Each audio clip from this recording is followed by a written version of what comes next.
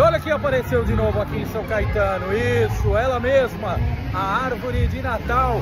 Agora, ó, na Praça Cardeal Arco Verde, iluminada. Mais uma árvore de Natal acesa aqui em São Caetano e amanhã no Parque Cinco Mendes.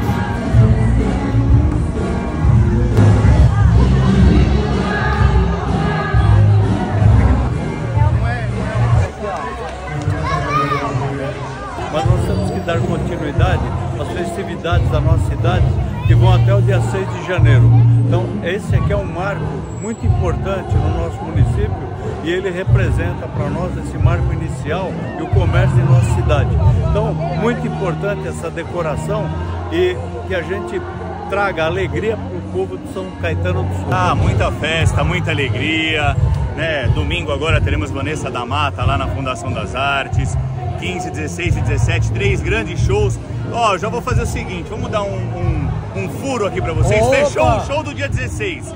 Será Ivan Lins no dia 16. Olha aí. Então nós teremos Ney Mato Grosso, Ivan Lins e finalizando com o J Quest. É isso, grande show. E amanhã também tem programação. Isso, amanhã a gente inaugura a vila lá de Chico Mendes, né, Isso, doutor? aquela vila de Natal ficou muito bonita, tá muito grande aquilo.